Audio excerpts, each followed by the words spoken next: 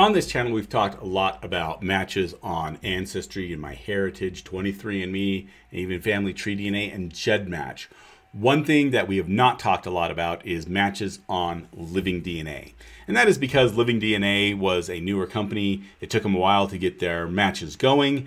And I'm going to show you today what you can do with the matches that you have at Living DNA. So before I get into the nitty gritty, I want to emphasize that Living DNA is still a work in progress. They're one of the smallest companies, they're one of the newest companies, and they are slowly bringing tools online, as you can see from the website. In some of my past videos about Living DNA, you saw where I only had one or two matches, and now I actually have a few hundred matches, as you will see. On Living DNA, you have your opening profile, and where we want to go is to this link that says relatives. That is going to be our match list. So the match list looks very similar to other match lists. As you can see on here, they tell you how much shared DNA with an estimate of what the relationship is. The nice thing is they give you both the percentage as well as the total centimorgans. One thing I like is they tell you whether or not this person is active. In other words, have they been on the platform in a while? So you can see that some of these people are less active as well as some that are active. It lets you know if there are shared matches between them. Now, since I only have, I think, about 440 matches total on Living DNA, most of my matches don't have a lot of shared matches. Clicking on this little arrow is going to get you to the profile page. So here on the profile page, we can see the same information. There's a few other things then that you can do. One is you can have a conversation. Basically, this is their messaging system between different people. Unfortunately, you don't have their email address that you can email them directly, but in the messaging system, you can always go and ask them for their email address if you want to do it off the platform, or you can do it on the platform if you want to keep everything there. There are some things that are not active yet. For instance, you can see here this shared DNA. That would be like a chromosome browser. That says it's coming soon. It's not available yet. Uh, the tree builder. This is building an actual tree on living DNA, and that is still in process. So that isn't working yet.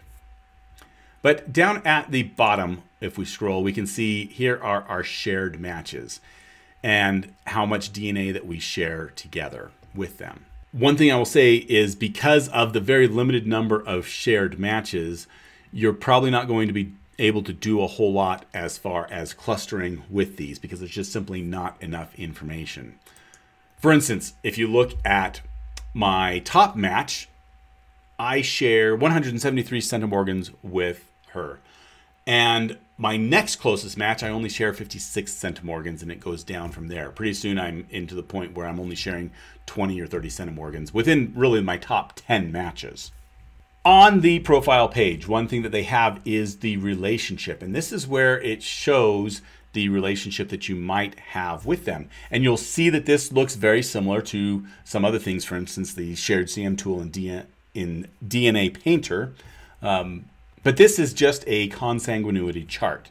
Living DNA uses the degree of relationship. So here it's a fifth degree relationship, shares an average of 3.125%. You may be wondering, okay, what is a degree of relationship? And that is really just a fancy way of saying how many divisions they have had. For instance, the first sharing of DNA is going to be 50%, and that's with parent and child. Then you get to 25%, then you get to 12.5%, then 6.5%, and then 3 and a quarter, or 3 and an eighth percent. 6 and a quarter percent, 3 and an eighth percent. So you can see 5 degrees of separation, which is 3 and an eighth percent. And it highlights which of the potential people that could be. Now, some of these you can eliminate right off the bat. So, for instance, if I'm looking at myself, it couldn't be a half great aunt or uncle because that would be three generations back and their half sibling, which while I do have my grandparents' DNA tested, I my great grandparents have been deceased for at least 20 25 years at this point.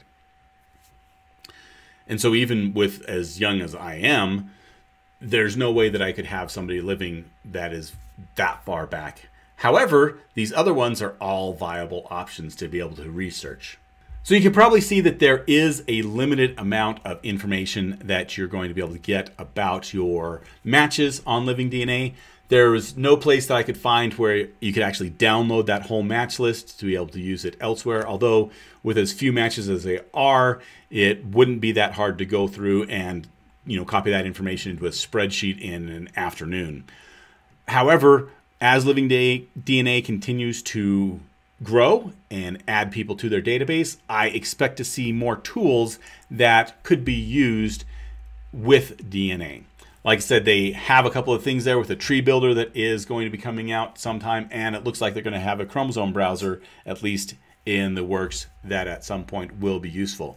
Once those tools come online, then you're going to be able to start comparing some of the matches information from Living DNA with some of your matches on other websites.